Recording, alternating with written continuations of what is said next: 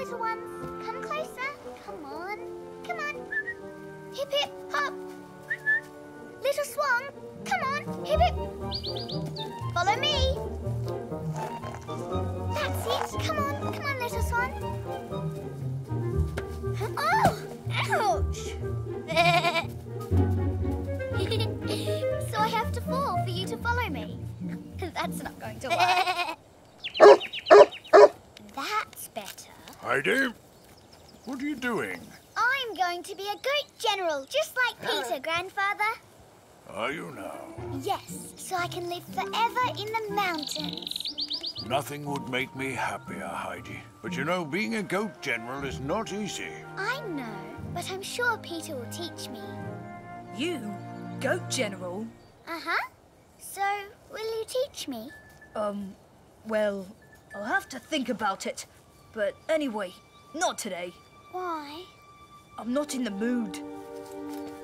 Sweetheart is not feeling very well, and Mrs. Keller has decided to sell her to the butcher.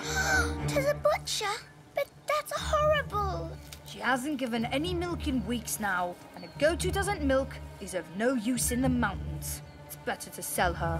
Where is she? We have to help her. She's at the Kellers. There's nothing we can do. Sweetheart is still theirs. It's their decision. But of course we can. We have to. We have to get going. You ready? You go. I have to do something for Sweetheart before it's too late. But Heidi... I might join you later. I need to talk to Grandfather first. Okay then. See you later.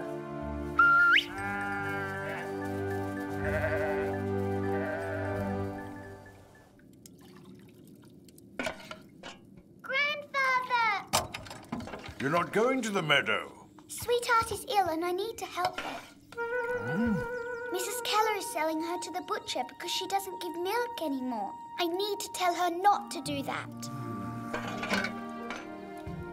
I know it is sad, but it's how life goes. We have goats so they can give us milk, and when they stop doing that, we can't hold on to them forever. But there must be something we can do. Sweetheart is just sick and needs some time. There must be some way to help her milk again.